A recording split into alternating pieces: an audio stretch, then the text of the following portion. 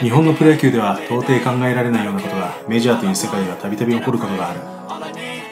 その中には蜂の大群がスタジアムに押し寄せこの蜂の大量発生が原因で試合が中断するなんてことも。毎年オープン戦が開催される3月頃にアリゾナやフロリダを中心に発生するこの蜂の大群は新たなシーズンを歓迎するかのようにスタジアムで飛び回る。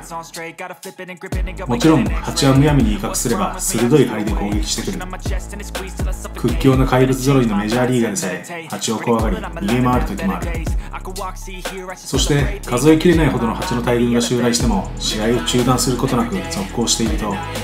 選手をはじめ審判までも頭を抱え蜂を避けるような珍しい場面になることもあった。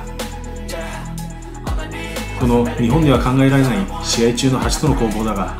そんな事態に陥る中でもアメリカらしいユーモアあふれる対応でファンを楽しませた選手もいた。2019年にサンディエゴ・パドレスの本拠地であるペドコパークで行われた試合では蜂の大群がパドレスのベンチ近くに襲来した。そしてこの時多くの選手たちが避難する中パドレスの保守オースティン・ヘッジスは一味違った。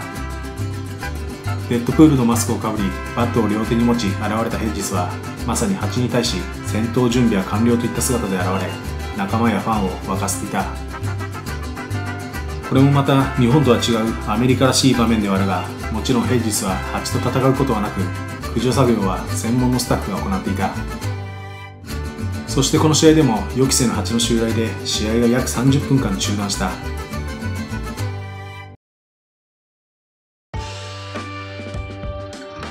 シーズンの始まりにスタジアムで大暴れし人々の注目を浴びる蜂の大群だがアメリカでは試合中の蜂以外にもメディアから注目された野球と関係のある蜂がいた。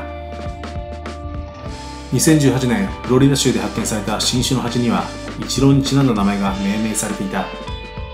ディアルコガスターイチロイと名付けられた新種の蜂はマーリンズパークから約230キロ離れた場所で発見された。この新種の蜂を発見した昆虫学者は命名した理由をこう説明した。